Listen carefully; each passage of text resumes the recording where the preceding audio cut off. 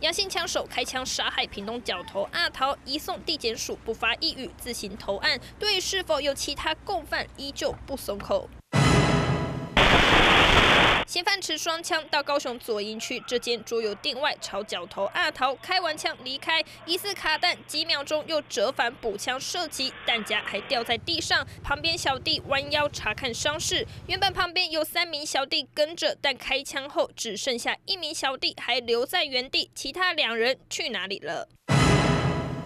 嫌犯在桌店旁停车埋伏将近六个小时，看到老大及三名小弟从大门出现后，随即追到停车场朝他开枪。屏东角头生活圈多半在南州，来高雄桌游店都会有小弟陪同，枪手事先埋伏，趁着角头走出门口到停车场空档行凶，警方追查是否有内鬼泄露行踪，陪同小弟被列为证人。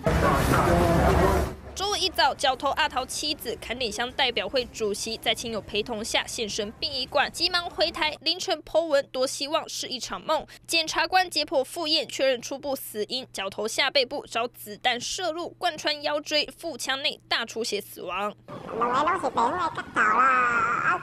想炸进前拢要个朋友的笑目啦。开枪的杨姓枪手侦讯后仍坚称阿桃借款四五十万元赌债未还，阿桃与其他角头雷梦曾有过纠纷，枪击案疑点重重。三立新闻黄大卫陈元 SNG 小组高雄报道。